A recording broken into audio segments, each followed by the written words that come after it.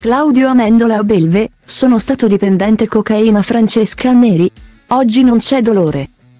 Claudio Amendola è uno degli ospiti dell'ultima puntata di Belve, in onda questa sera, 21 marzo, su Rai 2. A Francesca Fagnani, il noto attore ha raccontato alcuni aspetti inediti della sua vita. Come la dipendenza dalla droga e la dolorosa separazione dalla moglie Francesca Neri.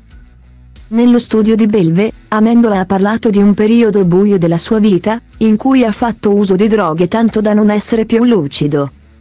Francesca Fagnani ha citato quanto lui stesso aveva detto di una passata intervista, le droghe le ho provate tutte per poter dire che fanno schifo. Tranne l'eroina che mi ha sempre fatto terrore. C'è stato un momento della sua vita in cui si è fermato un attimo prima di percepirla come una dipendenza.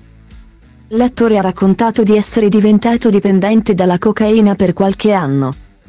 Ma di esserne uscito pensando alla famiglia, interamente da solo, ero dipendente dalla cocaina. Sono uscito dalla dipendenza perché c'è sempre stato qualcosa di più importante e sono sempre stati i figli. Ha anche toccato il fondo, che però gli ha dato la forza per risalire, quando ti rendi conto di essere in una situazione in cui dovevi essere lucido ma non lo eri.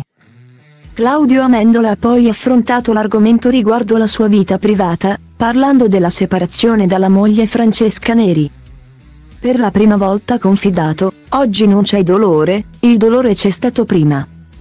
C'è semmai il dispiacere di non essere stato, di non essere stati, in grado di arrivare sino in fondo. La notizia della fine del loro amore, durato 25 anni, era arrivato come un fulmine ciel sereno la scorsa estate dopo un periodo in cui non apparivano insieme da diverso tempo. Nel corso dell'intervista, spazio anche a una frecciatina a Ignazio La Russa, il presidente del Senato. In una passata intervista a Belve, ha definito Claudio Amendola il più strono di tutti e lo ha denunciato dopo i fischi alla festa del cinema nel 2011.